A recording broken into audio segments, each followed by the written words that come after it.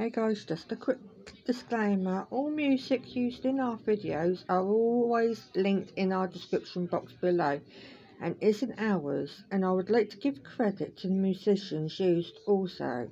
So thanks. Carry on watching. Thank you so much.